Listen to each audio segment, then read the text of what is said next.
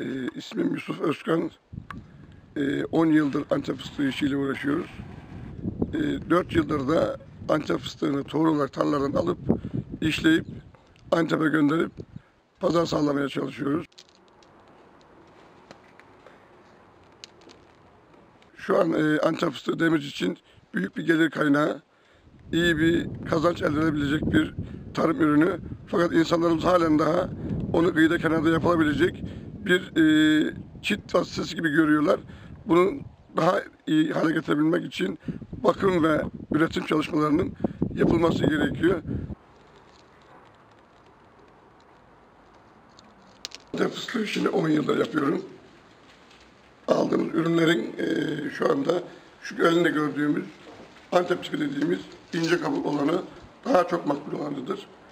Şu sol elimde gördüğünüz de Siirt tipi dediğimiz biraz kabuğu kalın olur. Demircinin fıstığı genelde iç olarak kullanıldığı için kabuk oranının önemi daha fazla. Biz halkımıza bunun yapılmasını daha çok tavsiye ediyoruz Antep tipi fıstığının. Ziraat Odası'na destek alıyor musunuz bu noktada? Geri desteler yapılıyor. Ee, üreticilere mesaj olarak gönderiliyor. Ne zaman ne atılacağı ama halkımız bu konuda duyarlı olmadığı için bu işlemler tam olarak yapılmıyor yani. Yapılsa daha da ürün artacak, gelir daha çok olacak, insanın kazancı daha fazla olacak. Demirci'de e, tabii bizim demircimiz bakir topraklarda, dağda, e, dağ, dağda ve havası ve doğasıyla, bakir topraklarıyla meyvacılık için müthiş bir alan. Güzel bir yer. Onun için e, burada farklı bizim meyvelerimiz var. Mesela nedir bu başlıca e, meyvelerimizden kiraz. Onun yanında yeni yeni cevize, cevize döndük.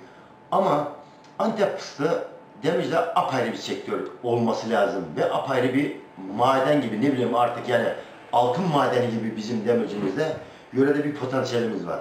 Şimdi biz e, 10 yıldır bununla ilgili bazı çalışmalar yapıyoruz. Nedir bu çalışmalarımızda? İşte önce aş, aşıcı yetiştiriyoruz.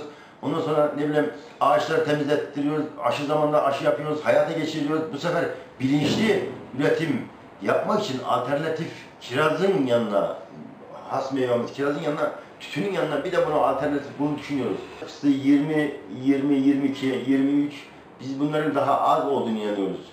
Çünkü